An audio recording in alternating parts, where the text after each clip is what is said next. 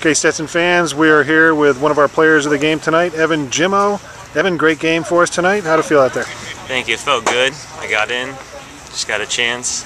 Try to do it for my team. Put one in, got an assist. We have a 5-1 win for the Hatters tonight over North Florida. Evan had a, a, an assist and a goal, scored the last goal of the game. Can you can you describe that goal for us? It was pretty impressive. Um, I actually missed it first to hit the goalie. I just try to try to do all I could to get it back and get it back in. Luckily, I did. Well, you're being a little shy. It was uh, it was a good shot on the first. It was a good save by the keeper on the first shot, and then a nice header to uh, finish it off. I had to do it for the team. well, it was a nice looking goal. So, Thank you. Um, so tonight's win, as far as the team goes, tonight's win puts us uh, at least in the second seed for the tournament. So we will have a bye on the first weekend. Um, has Coach said anything about that? Is that being one of the goals for the team? Yeah, I mean, we want to have it here to play on our home field, get the home fans. They did a great job, the tennis team. They really boosted us in, got us pumped up to play.